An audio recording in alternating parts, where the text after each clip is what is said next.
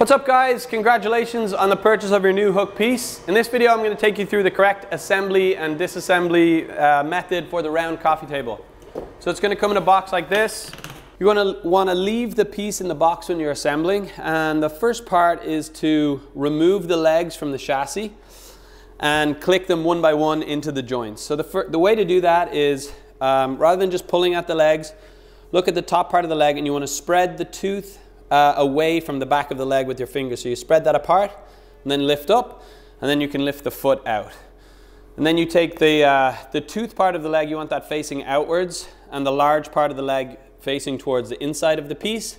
Slot that tooth in and then just press forward and it locks into place. So you can see again here, I'm going to spread the tooth apart and lift up and then I can lift the foot part of the leg out. Put the wooden end towards the center, tooth towards the outside, and push forward. And just repeat that with the remaining two legs. Spread the tooth apart, lift up, wooden side inwards, and hinge forward. And you really don't want to pull from the foot part of the leg because that could damage one of these stoppers right here. So I'm going to spread the tooth apart, lift this part up, and then lift out. And put the back of the leg in, and pull forward. So that's the assembly. We've got the legs in. Now you can lift it out of the box and flip it over. And that's really all there is to the assembly. Okay, so now I'm going to show you the correct disassembly process in case you need to store this away or if you're moving. First thing you want to do is take the legs out of all of the joints and put them back into the chassis one by one. So the best way to do that is squeeze the flexible tooth inwards and then hinge the leg backwards. So squeeze in, and hinge backwards. Now, you can see we have the four profiles of the legs here, so that's to show you where to store them. The way to put them back in correctly is foot end first and then the top of the leg. So I slide the foot towards the stopper right here.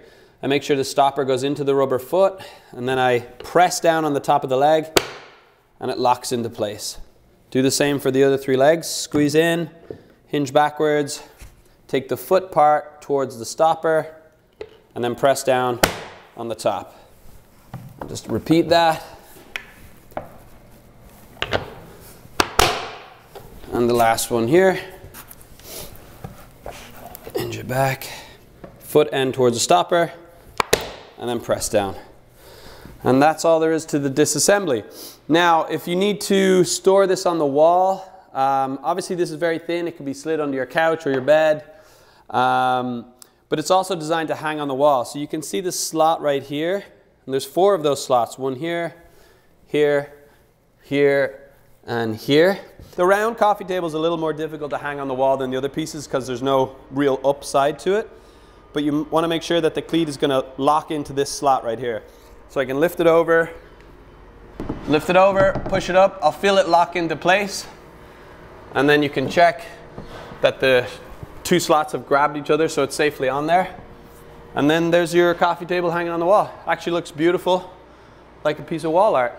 All right, thanks for watching.